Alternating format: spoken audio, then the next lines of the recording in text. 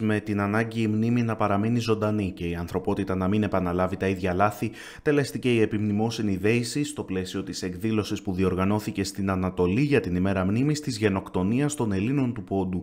Ήταν 19 Μαου του 1919 όταν ο Μουσταφά Κεμάλ αποβιβάστηκε στη Σαμσούντα, γεγονός που σηματοδότησε την έναρξη της δεύτερης φάσης της γενοκτονίας των Ελλήνων του Πόντου. Οι πρώτες διώξεις και εξοντώσεις χριστιανικών πληθυσμών της Οθωμανικής Αυτοκρατορίας και ειδικότερα των Ελλήνων του Πόντου είχαν ξεκινήσει τέσσερα χρόνια πριν, το 1915. Ολόκληρα ποντιακά χωριά ξεκληρίστηκαν, πληθυσμοί σφαγιάστηκαν, σημειώθηκαν βιασμοί γυναικών, δολοφονίες και απαγωγές παιδιών με απότερο στόχο τον εξισλαμισμό τους. Υπολογίζεται πως από τους περίπου 750.000 ποντίους, περίπου 200 έως και 350.000 εξολοθρεύθηκαν από τους νεότουρκους κατά την περίοδο 1916 με 1923.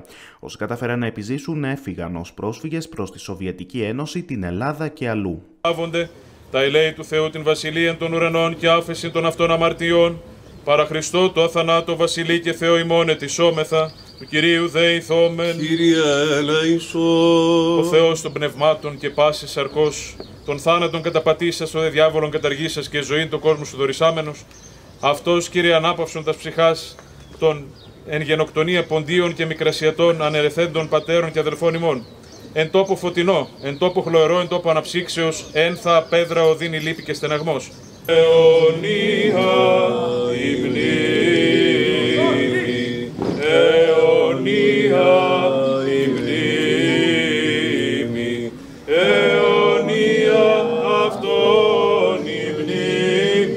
Η διαφύλαξη της ιστορικής μνήμης της γενοκτονίας δεν εξαντλεί τη δυναμική της στο παρελθόν, αλλά λειτουργεί αποτρεπτικά και συμβολικά για το μέλλον. Οι Έλληνες του Πόντου, ερχόμενοι στην Ελλάδα, εκδιωγμένοι, διέπρεψαν, πρόκοψαν με μεράκι, με επιμονή, με εργατικότητα, σε όλους τους τομείς της κοινωνικής ζωής διακρίθηκαν, στην οικονομία, το εμπόριο και την πολιτική και συμβάλλουν και συνέβαλαν και συμβάλλουν και θα συμβάλλουν στη διαμόρφωση της πολιτισμικής μας ταυτότητας.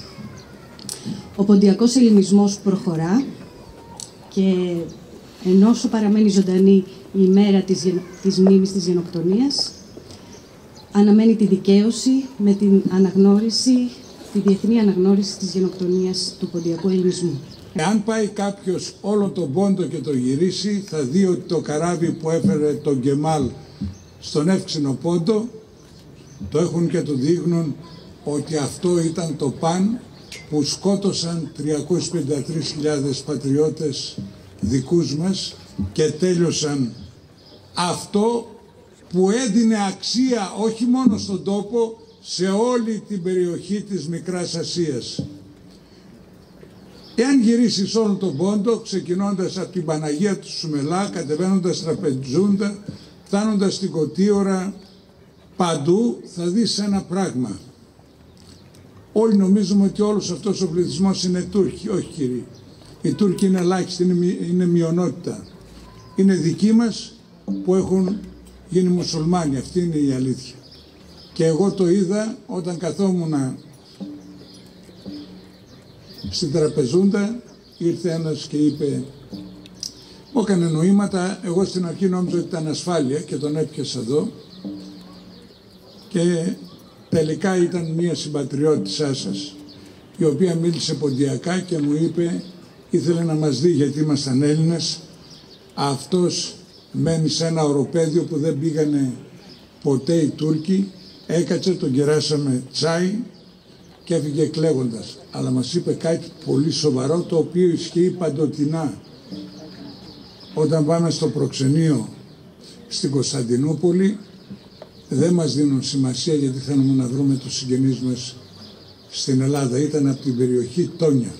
Σήμερα υψώνουμε τη φωνή μας ως μάρτυρες της ιστορίας και συμβάλλουμε στην αποφυγή της λύθης προκειμένου να διδαχτούμε και να αναδείξουμε την αξία της ανθρώπινης ζωής και των ανθρώπινων δικαιωμάτων ενάντια σε κάθε μορφή επιθετικού εθνικισμού. Αυτή την ιστορία που κουβαλάνε εδώ στον τόπο μας η Ανατολή, η Μπάφρα, η Νεοκεσάρια και όλες οι προσφυγικές κοινότητες στη χώρα. Μια ιστορία προσφυγιάς αλλά και δύναμης. Ας αντλήσουμε λοιπόν δύναμη από τη μνήμη των παλινοστούντων, εκφράζοντας το σεβασμό μας, υποκλεινόμενοι στην αντοχή τους σε αυτές τις δύσκολες στιγμές. Οφείλουμε να επιδείξουμε εγρήγορση και αποφασιστικότητα, προβάλλοντας τα διδάγματα του παρελθόντος το σήμερα, για να μην επιτρέψουμε ποτέ ξανά να συμβούν παρόμοιες τραγωδίες. Μιας και δυστυχώς, στη γειτονιά μας, εξαιτίας των γεγονότων που εξελίσσονται, είμαστε στα πρώτερα να ζήσουμε μια νέα γενοκτονία. Σήμερα οφείλουμε να καταπολεμήσουμε το μίσος και τη μυσαλλοδοξία, ενθαρρύνοντας την ανοχή, την κατανόηση και το σεβασμό προς όλες τις κοινότητες. Τιμήσαμε σήμερα, 105 χρόνια μετά, την γενοκτονία του ποντιακού ελληνισμού. Η μνήμη πρέπει να μείνει ενεργή και απαιτεί δικαίωση. Στη σημερινή εποχή διαπιστώνουμε ότι νέες γενοκτονίες συντελούνται στη γειτονιά μας και νομίζω ότι σύμπασα η ανθρωπότητα με μπροστά τη νέα γενιά πρέπει να δώσει τη μάχη απέναντι στην προσφυγιά και στον ξεριζωμό. Οι πόντοι ερχόμενοι στην Ελλάδα συνέβαλαν τα μέγιστα κάτω από πολύ δύσκολες συνθήκες με τον πολιτισμό, την ιστορία και την εργατικότητά τους στην αλλαγή και στην οικοδόμηση του σύγχρονου ελληνικού κράτους και εδώ της συγκεκριμένης περιοχής στην οποία βρισκόμαστε, στην αναγέννησή της, αλλά και στην ουσιαστική συνεισφορά της και στα κοινωνικά και στα πολιτικά δρόμενα.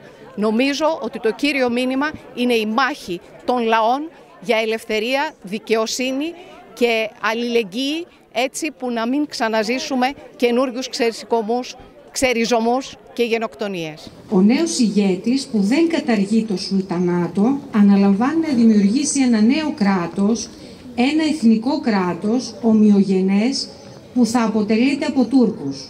Μέσα σε αυτό το πλαίσιο άρχισε ο πόλεμος όλων των ξένων της αυτοκρατορίας. Στράφηκε εναντίον των ξένων, Αγγλογάλων και Ελλήνων, αλλά τελικά βρέθηκαν στο μάτι του κυκλώνα Κυρομνοί, οι Ελληνοορθόδοξοι που ζούσαν σε αυτά τα χώματα αιώνες. Αυτοί που είχαν φτιάξει πόλεις και αστικά κέντρα, χωριά και είχαν δημιουργήσει πολιτισμό, οικονομία, είχαν στήσει τη ζωή τους εκεί.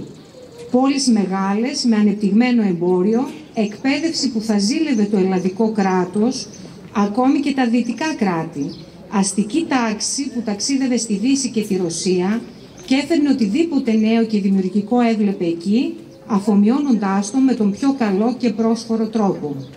Ακολούθησαν καταθέσεις στεφάνων, ενώ η εκδήλωση εμπλουτίστηκε με παραδοσιακό τραγούδι από τη χοροδία «Ανάσπαλτος Πατρίδα» της αδελφότητας Ποντίων και Μικρασιατών Υπήρου, αλλά και με πυρίχιο χορό από τους χορευτές της αδελφότητας Ποντίων και Μικρασιατών Υπήρου.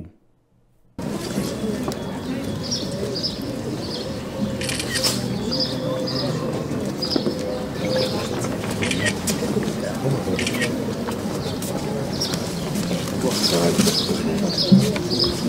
します。